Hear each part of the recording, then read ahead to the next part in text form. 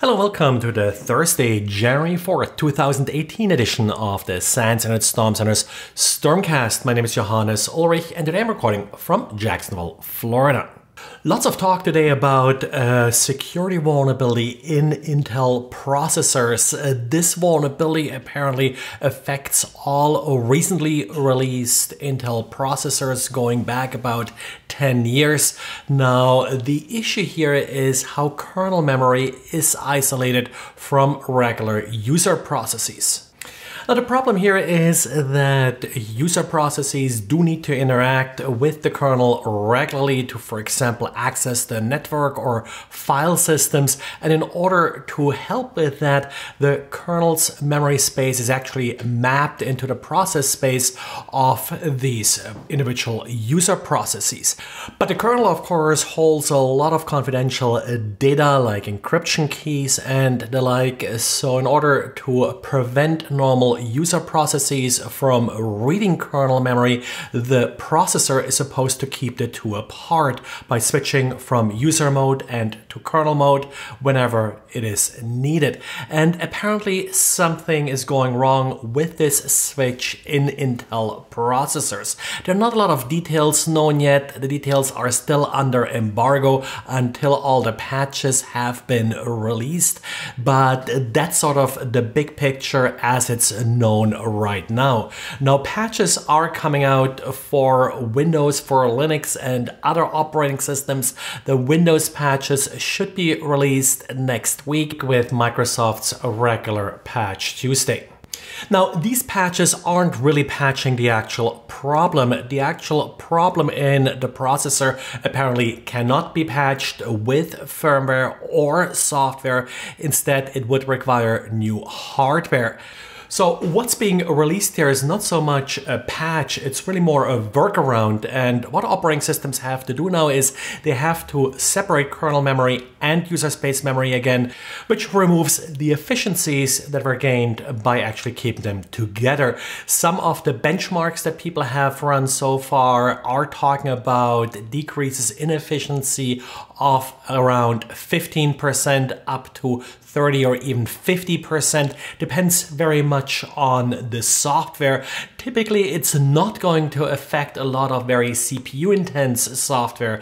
Where uh, this particular problem really hits you is whenever you're using the kernel, whenever you're switching from the process to the kernel, which is typically done via system calls or syscall for short. And that's the part that's going to be delayed. Now, the bad news here is that that typically happens whenever you're trying to access a file, whenever you're trying to access the network. So I expect things like databases, for example, to suffer quite a performance hit from this patch.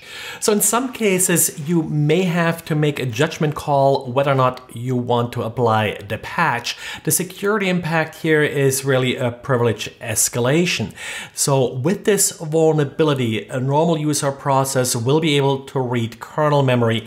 This, for example, will allow an exploit to bypass address space layout randomization. So existing buffer overflows and so in the kernel will be easier to exploit.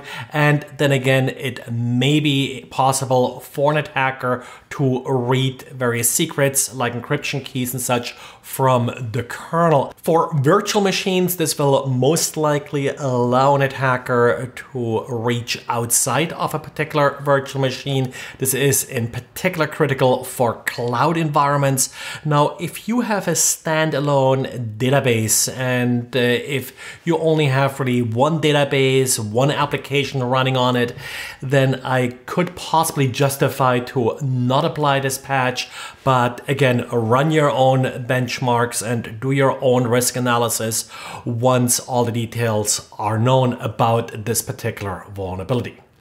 And over the last few days, I heard about a couple of cases where large organizations, uh, PeopleSoft installs and Linux servers running WebLogic uh, were compromised and CryptoCoin miners were installed on these systems. It was typically the same crypto coining mining software, no matter whether it was WebLogic or PeopleSoft.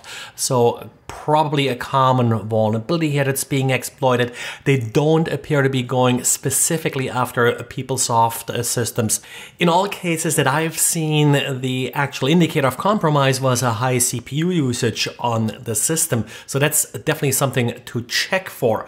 But in order to run a crypto coin miner, uh, these systems then have to connect to any mining pools in order to actually reap the reward of all of their work. And to help you detect some rogue crypto coin miners, I set up a new threat feed with IP addresses of known mining pools. This is still work in progress. I will add the link uh, to the particular list uh, in the show notes. Any feedback would be highly appreciated.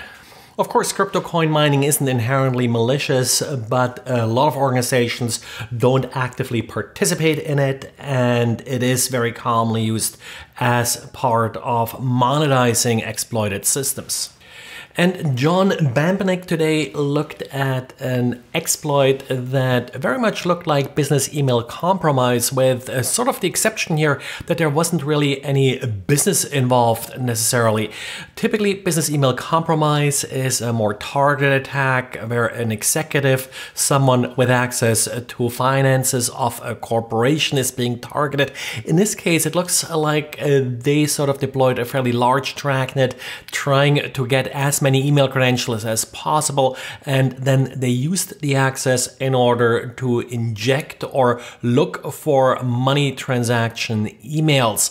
In this particular case that John was able to document, someone lost $200,000 due to falling for this very simple scam. In this case, yet again, a realtor turned out to be the victim. Of course, uh, we had uh, this documented before as well. One thing that makes realtors so enticing targets is that they usually do use consumer email accounts like your standard Gmail or Yahoo Mail account, and they do deal with larger amounts of money routinely, which of course uh, then is at risk. And of course, they tend not to be protected by any enterprise style security system that would make sure that they are patched or that they're behind any kind of filtering proxy. And that's it for today. So thanks again for listening and talk to you again tomorrow. Bye.